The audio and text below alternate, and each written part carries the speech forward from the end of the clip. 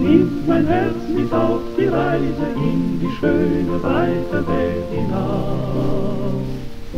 Dort, wo bunte Blumen blühen, dort, wo weiße Wolken ziehen, steht am Waldesrand ein Haus. Still ohne Sorgen, friedlich geborgen, liegt dort die Welt im Sonnenschein.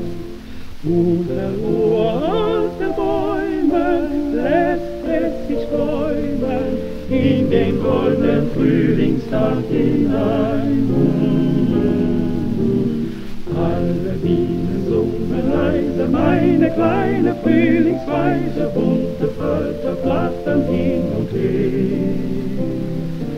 Die Natur auf allen Wegen streut den schönsten Blütensegen und die Rosen duften süß und schwer.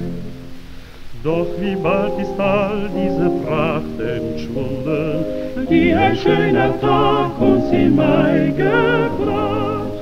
Denn ein kalter Reif hat in nebelgrauen Stunden alles Grün vernichtet hinein. Längst schon sind verstummt alle Vöglein auf den Zweigen, auch die Falter tanzen nicht mehr ihre Reigen.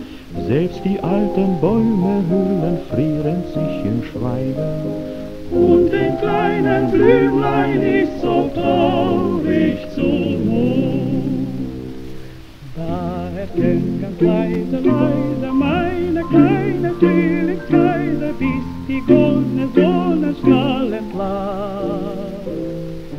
Und die Blumen blühen wieder, auch die Wolken ziehen wieder, und vergessen ist die kalte Nacht. Freut euch der Jugend nutzt jede Stunde,